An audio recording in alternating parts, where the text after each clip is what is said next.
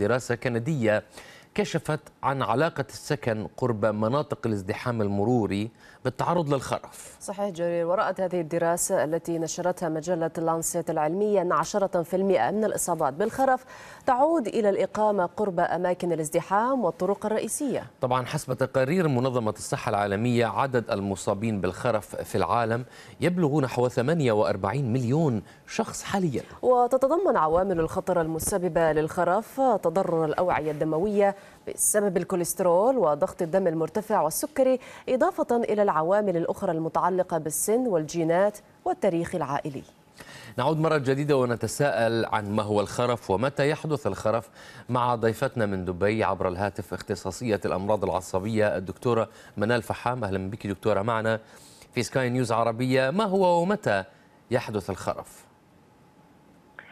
صباح الخير لك وللساده المشاهدين. صباح النور. هلأ مرض الخرف مثل ما حضرتك ذكرت هو اولا عم ينتشر عم يزيد انتشاره بالعالم عم ترتفع نسبة ظهوره سنة بعد سنة بدون ما يتوصل العلماء حقيقة.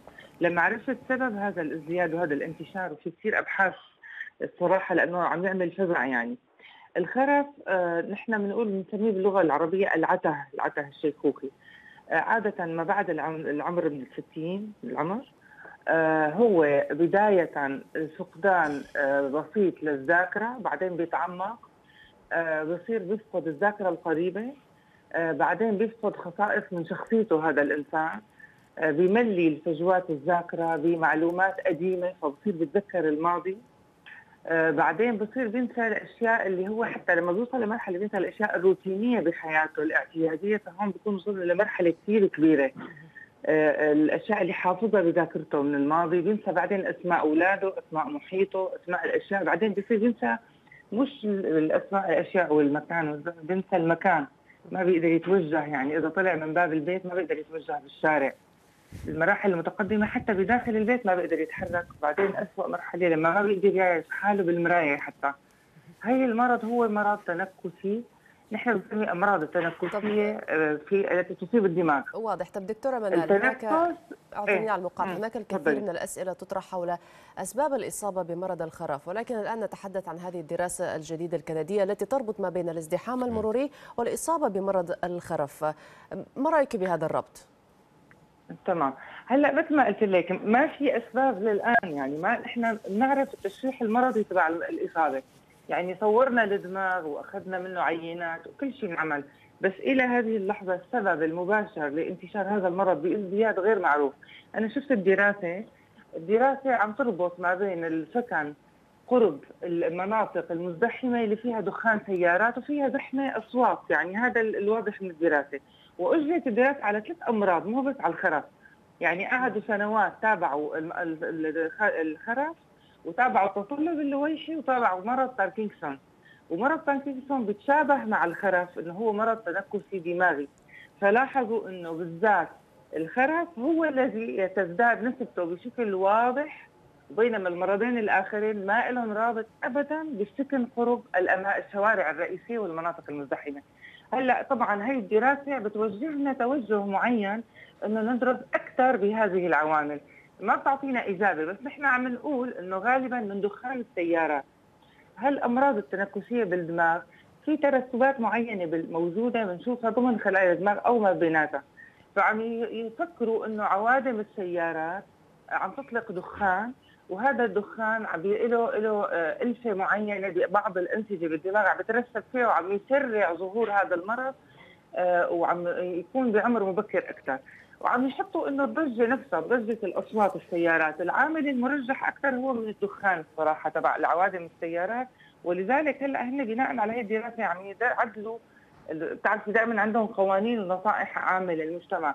إنه إذا حدا ساكن قرب شارع عام يخلي وجه البيت إلى بعكس الشارع يعني. لأنه هن حتى الدراسة دقيقة إنه بعد بعيد عن البيت 50 متر ولا 100 متر هذا الشارع ولا 200 متر فلاحظوا إنه كل ما ابتعد عم تكون النسبة أحسن. طبعا الدراسة أجريت على عدد كبير من الناس وتوبعت لمدة طويلة من السنوات. فالنتيجة بتعطينا إضاءة إنه دوروا بهالسبب بس ما بتعطينا سبب قطعي. إنه أي من عوادم السيارات وهل فعلا هي عوادم السيارات ولا الضجة؟ وهل في هناك عوامل أخرى؟ ربما طيب شو الاهتزاز شو نعمل يعني يعني دكتورة شو قطعها. نعمل نن- ننقل على الريف يعني مرة ثانية. الموضوع صار والله صار أيوة شبه صار أيوة شبه والله. مستحيل دكتورة. وإذا سمحتي لي يعني كمان إجراء الدراسات. على مرض زي الخرف. والخرف ما ما بيظهر فجأة. هو يعني يبدأ بشكل تراكمي وبيتطور بعدين بيوصل لحالة. معينة يؤدي بالمريض إلى أن ينسى كيف يعيش وين مكانه كل شيء. آه، نحن بنتحدث عن سن معين دكتورة يظهر فيه؟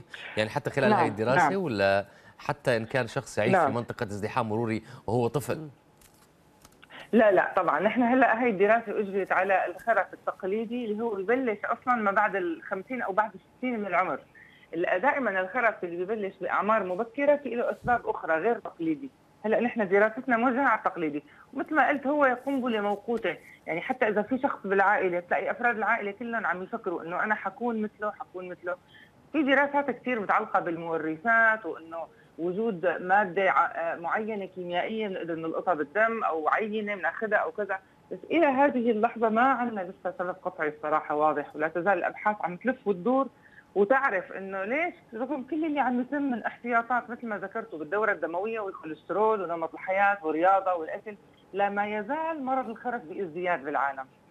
والأرقام مفزعه يعني مثلا ست أضعاف الباركنسون أو خمس أضعاف مرض الباركنسون مرض الباركنسون هو مرض حركي ما بيأثر على الذاكرة.